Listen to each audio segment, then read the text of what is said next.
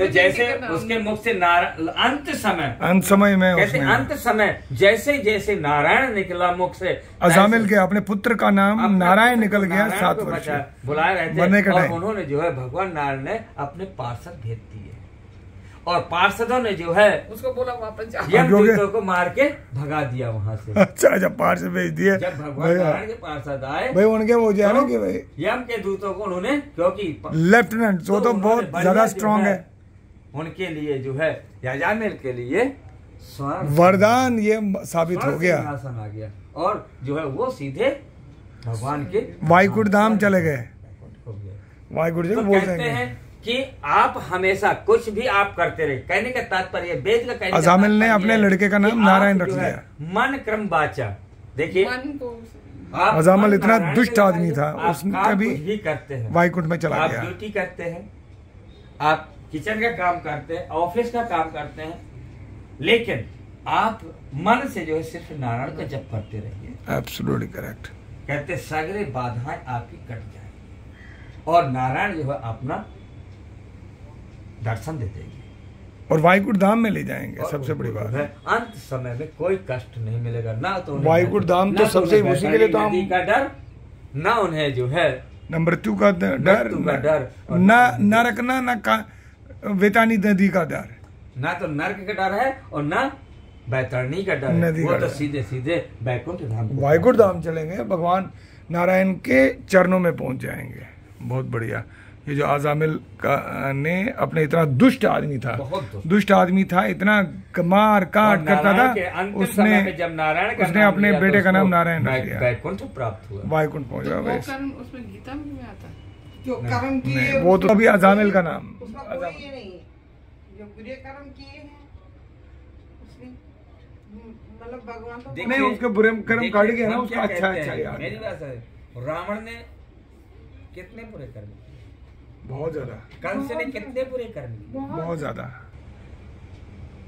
जरासंध ने कितने बुरे कर्म? उसने भी जरासन ने भी कर लिया बहुत ज़्यादा हाँ। लेकिन कहते हैं कि जब नारायण का सामना पड़ता है तो सब आपके पाप कर्म धुल जाते हैं।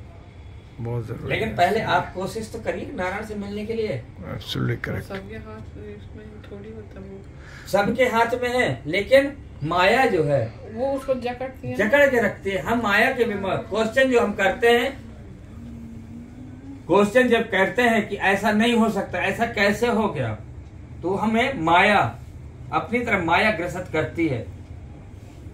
क्योंकि हमें मन क्रम वचन की वाणियों में विश्वास नहीं आप ये बताओ कि आप सुबह से शाम तक नारायण का नाम श्रीमद नारायण श्रीमद नारायण करते हो वो किस लिए? अपने पाप को काटने के लिए तो करते हो ना?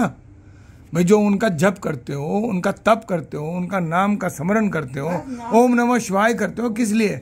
ओम नमः शिवाय करते हैं तो हमारी जो जो मन है तन है जो हमारी सारी जो है वो सब शुद्ध शुद्धिकरण होता है। शुद्धिकरण होता है सफ़ाई होती है और उसी से हमको प्रेरणा मिलती है सही जैसे हम सही रास्ते पर चलने तरह भगवान का भजन करने से जो है ना बस श्रीमद नारायण श्रीमद नारायण इसीलिए करते हैं। हाँ, मन की शांति। राम जी को भी कहते हैं ना कि आप बताइए हम कैसे ये पुल पास करेंगे जब ना वहाँ सेतु ही- कहते ना राम का नाम ही- राम का नाम ही सबसे बड़ा राम का नाम ही सबसे बड़ा मंत्र है सबसे बड़ा एक बात बताएँ जब भगवान जो है समुद्र के किनारे बैठे हुए थे और राम नाम लेकर के पत्थर उन्होंने डाल, हाँ, पत्थर डाल रहे थे और गिलहरी उसमें अपना जो है योगदान गिलहरी। उसमें अपना सहयोग दे रहे योगदान दे रहे थी। योगदान कर रहे थे। तो भगवान ने सोचा कि मैं भी पत्थर फेंकूं।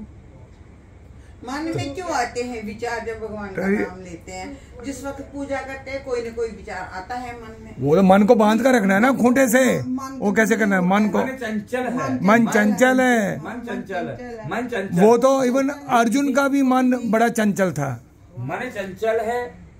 समझिए मेरी बात। मन को कंट्रोल करने के लिए ही आपको एका- एकाग्र होना पड़ेगा। भगवान का स्मरण करना पड़ेगा नाम का। वो कैसे होता है? उसमें कैसे? उसमें कैसे किसी के बताने से नहीं होता वो अपने मन से ही अपने अपने आप को खूंटे से बांधना है उसको। संकल्प से होता है। मन हो गया दिमाग। नहीं तो आप यहाँ पर बैठे हो। जब आप गरुड़ पुराण में हो नहीं घर में बैठे हो। माया बोलती है। आप नहीं बोल रहे। आप माया से ग्रसित है। हाँ, क्योंकि माया नहीं माया ही ये आपको क्वेश्चन करवाती है कि ऐसे कैसे हो जाएगा। हाँ। अगर आपका मन अगर इंद्रिया आपके बस में हो जाए तो हाँ, आपके ये ऐसे क्वेश्चन कोई नहीं आएगा। वो सिर्फ़ भागवत में ही भागवत वही भागवत में ही लीन होता लीन रहेगा होता रहेगा।